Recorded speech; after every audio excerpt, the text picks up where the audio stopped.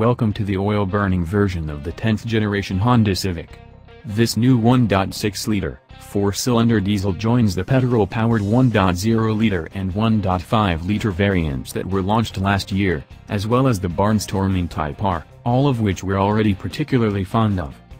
The new diesel, which we've been driving on the shockingly battered streets of Rome, gains the same extensive updates that were introduced on the petrol models, Honda pulled out all the stops when it came to designing this car, dedicating a third of its research and development resources to the project.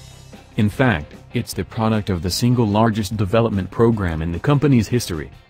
There's a new platform, a revised suspension setup that comprises McPherson struts up front and a multi-link rear axle at the back, as well as a stiffened unibody and a lowered center of gravity.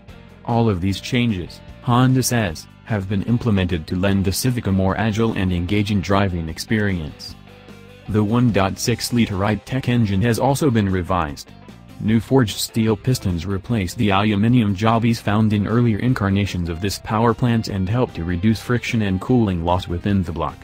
A new turbocharger offers reduced lag as well as improved low to mid-range pull.